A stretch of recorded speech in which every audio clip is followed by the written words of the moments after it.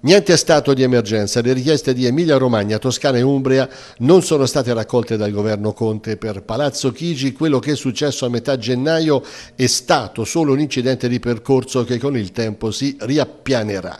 La necessità dello stato di emergenza per attivare i rimborsi alle imprese che direttamente e indirettamente avevano subito i danni dalla chiusura del tratto di strada che collega la Romagna alla Toscana, ovvero tra Canili e Valsavignone, è stata declassificata. E i problemi dovranno dovranno essere risolti in via ordinaria. Una doccia fredda, anzi gelata, che mette in croce quelle attività che sull'asse delle E45 avevano sviluppato la loro attività, la loro azione e la loro storia. Dunque finora sono state solo le regioni che hanno preso di petto la situazione, per il resto solo tante chiacchiere alla luce degli incontri romani che non hanno portato a nulla. Grande delusione tra i sindaci interessati, anche se in maniera amara. Albano Bragagni, sindaco di Piazza Pieve Santo Stefano era stato tra quelli meno speranzosi da subito. Non ci hanno dato nemmeno un caffè, è stato il suo laconico commento. Speriamo che riaprano la strada al traffico pesante prima possibile e che la vecchia Trebis